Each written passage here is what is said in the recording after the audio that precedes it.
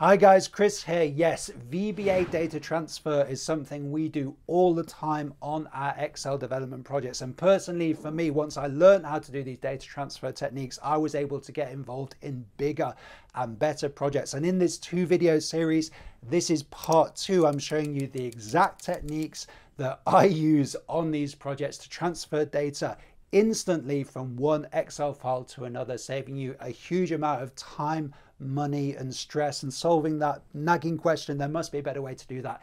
Yes, there is with these techniques. Let's get into part two. Let's go.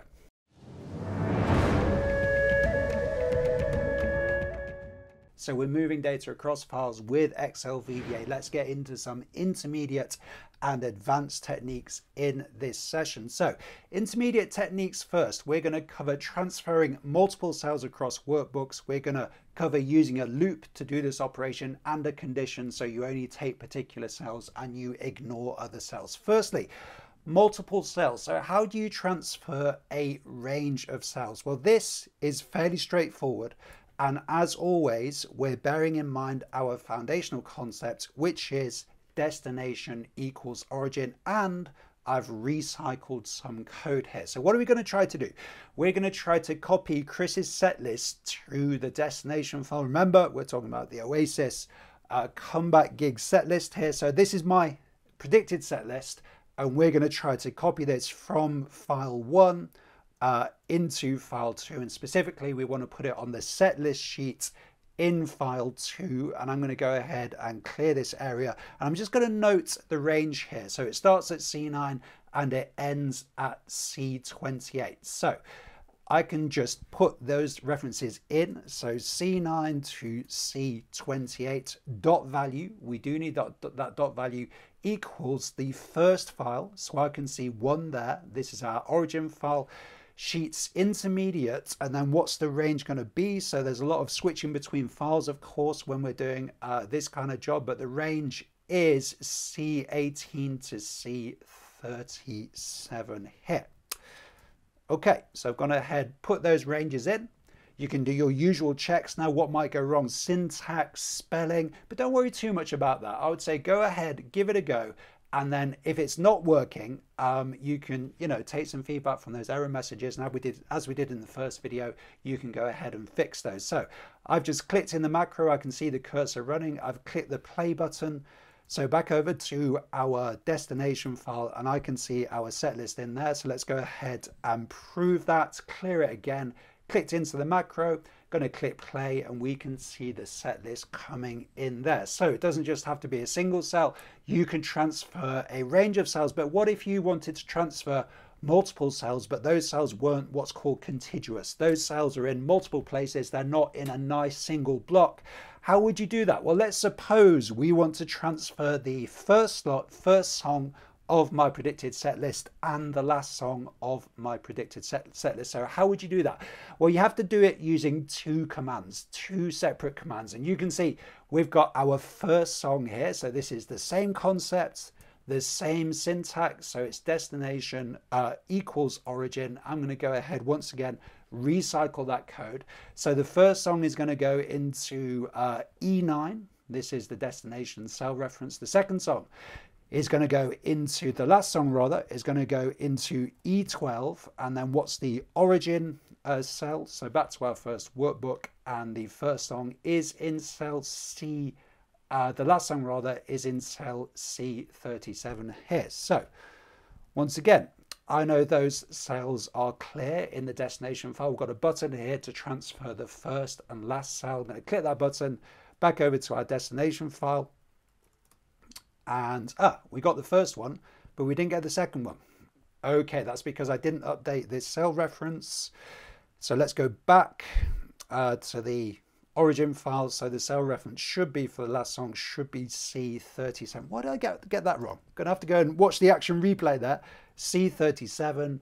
Right, let's just run it from the VBA editor this time. You can run all these macros from the VBA editor or most of them are attached to buttons in the download file. So I've run the macro, back to our destination file and I can see still haven't got the last song there. So what's happened? Ah, this is just classic. And I always keep this in the videos because um, it's just me messing up, but you know, I could say it's because I'm recording, but to be honest, when I do this in the real world, this does happen quite a lot. And there we go. So finally got the correct syntax in. So destination E12 is the reference equals origin C37 is the reference there. And you can see multiple commands, one command per cell, you can transfer as much data as you want. But you might think, Chris, that's going to create a lot of syntax. It's going to create a lot of code. Absolutely. Stick with me because the last technique, the pro level technique that I actually use gets rid of so much of that code. If you can get your head around it, it's mind blowingly powerful. We're going to go through that in just a couple of minutes. Okay. Next challenge is you're saying, well, Chris, with my data set, I don't know how big the data set is. Yeah, it could be three rows, it could be three 300 rows. So many data sets are like that these days, aren't they? They're dynamic rows being added, deleted. So we would need a dynamic range definition. And this is our um, next challenge, transfer with dynamic range definition. So what we're going to do here, we're going to use a line of code and a variable to dynamically define the range that we're going to transfer here. And specifically, we want to copy the selected set list. So for example, if I choose Luna here, I'm going to choose uh, Luna's set list. That's going to be copied into the destination file, into that set list area. So you might want to stop the video. What ideas have you got for how you might do this and what VBA techniques, many of which, well, we've covered this VBA technique so many times on the channel over the years, what VBA techniques might helpful be a really good exercise to stop the video and try to do it yourself here. Right. Uh, the concept we're going to use is range, range, range, and the variable we're going to use is this variable here. Right, set list offset is stored in the engine. So I love this because it's fish and chips. It's a combination, two things working beautifully together in synergy. In this case, we've got a mechanism in the engine which takes the value that's the set list, the chosen set list, and tells me the offset here. So I'm going to take that offset store it into a variable, which is this line of code here. And this is another application of A equals B, destination equals origin.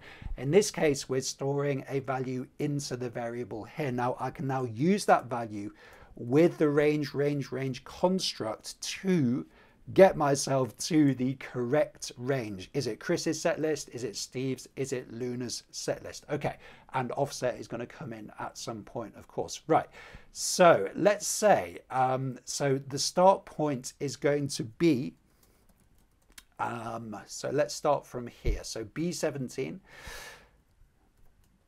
uh, B17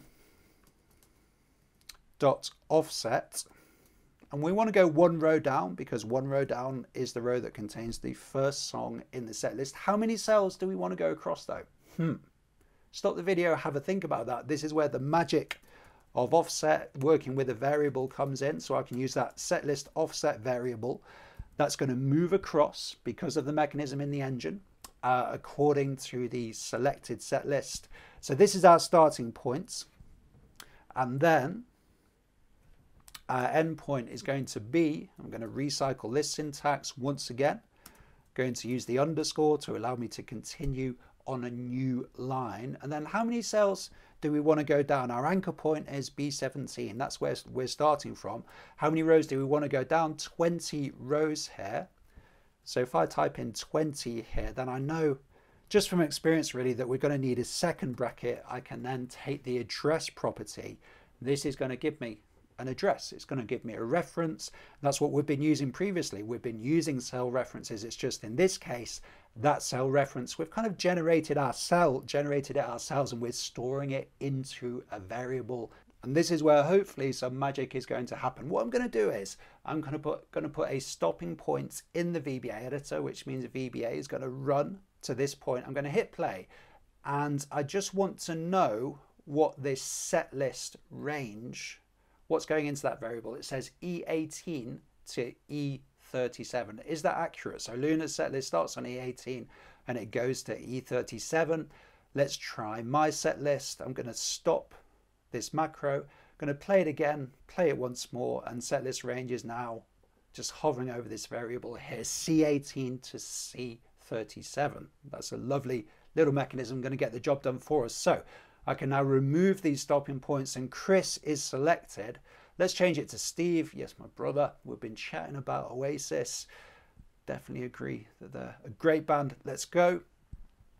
So go into the destination file. I just triggered the macro from the VBA editor and I can see, uh, hopefully this is Steve's set list. Is it? Doesn't quite seem right. Okay, what's happening here? What's happening? Let's go ahead and play this again. I'm going to hit the F5 key. Let's go to our uh, destination file. Ah, yeah, there it is. So I'm going to hit play. And oh, it's got a debug, uh, subscript out of range. Okay, yeah, that was an interesting point because um, it isn't the active workbook. Um, Excel has returned an error there, subscript out of range. So I can use this workbook.sheets. This workbook is a really useful piece of syntax because it means the workbook where this code lives. All of this code lives in workbook one, lives in the origin workbook. So that's a good illustration of where this workbook would be useful. Can I hit play now? Still got subscripts out of range. Okay, once again, we need this workbook here too.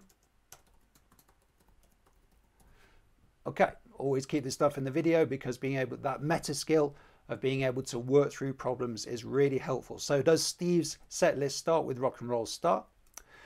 It does. Let's change it to Luna's set list, which starts with go let it out. I'm going to trigger the macro this time from the workbook. And is our selected set list being copied across? Yes, it is. Okay, so we've covered how to copy ranges across, how to copy different blocks of cells across, now how to dynamically define a range. We've done that with offset. I've also included this example here, which I'm not going to talk through, but you can use a loop you can use a loop to do this data transfer and that gives you an additional benefit of looking at each piece of data individually and you can decide do I want to transfer this piece of data and in this case I'm only transferring I'm only transferring songs that have a single word title. Yeah, you probably wouldn't want to do that in the real world, would you? It's a little bit contrived, but it's a good example of how you can use a conditional statement to bring in exactly what you want to do by looping through the data. Now, if you've never seen a loop in Excel VBA, there's a link in the video description below to our beginner course that has a whole session on loops. Incredibly powerful. Okay, let's move on to the actual mechanism that I use. You might say, Chris, why do you need anything else apart from these mechanisms? I agree.